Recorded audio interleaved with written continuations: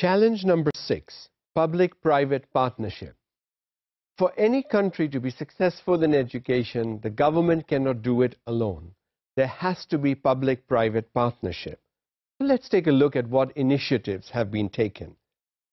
Public policy has been amended to mobilize the private sector and civil society organizations in the financing, management and delivery of education services in Pakistan.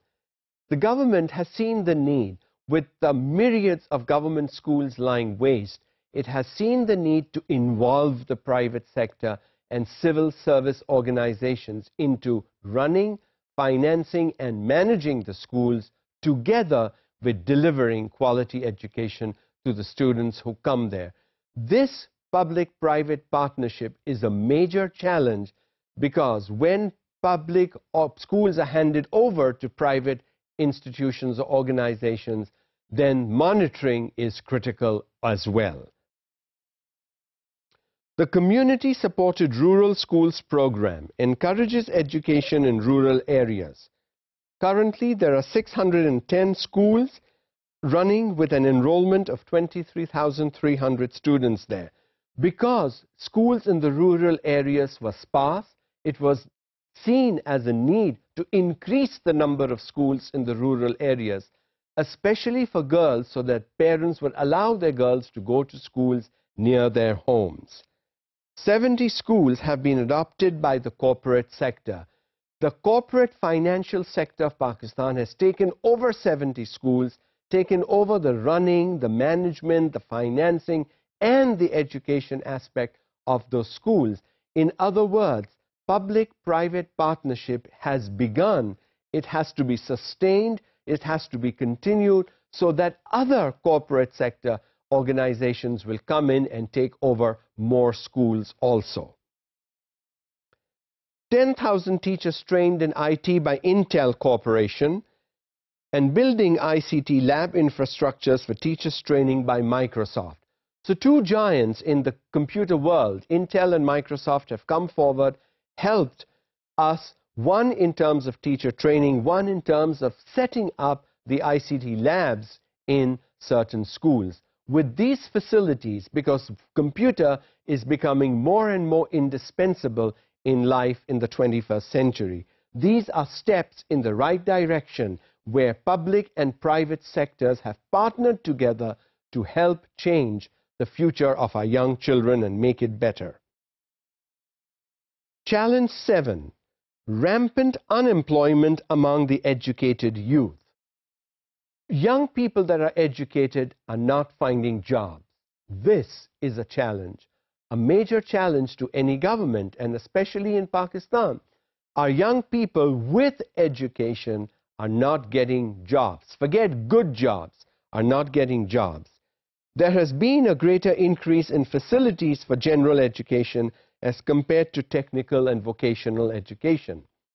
General education has been stressed, but what about technical education and vocational education? those areas need to be looked at also because that's where the jobs are today. But without the right qualifications, people don't get those jobs and positions stay vacant. So looking at all three aspects of education, the general, the technical, and the vocational is extremely important if a country is to progress and young people are to find jobs after enrollment the government will need to step in and make certain that young people with degrees and qualifications getting out of colleges and un universities have job openings for themselves.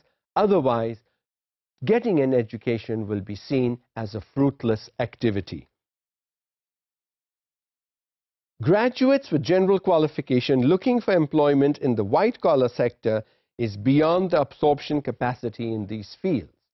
Now, any nation or any country can take in so many doctors or engineers or architects or nurses and after that there is a surplus and the surplus has to do something else.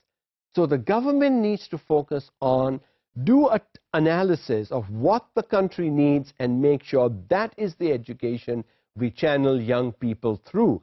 After all, areas will become saturated And you cannot just take in more and more and more people because if you do that, salaries will drop. When salaries drop, the payment for education is not seen as rewarding enough in terms of salaries years later.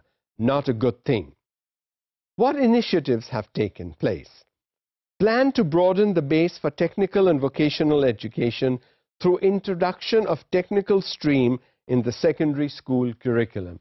And we see that at the intermediate level, where students come out with a technical stream, where there are chances of getting jobs and a salary once you're done with your degree. And so that one thing is in line, has been working for a few years, and hopefully, if it continues, it will sustain these students through to a good job a comprehensive plan for vocational and technical education in major towns. Now, coming out of the rural areas into the towns and cities, that's also where vocational and technical education are needed. And so an emphasis on planning that is important. Involvement of industry to set up technical training institutes, getting hands-on experience with the real life of the job market industries should come forward and help.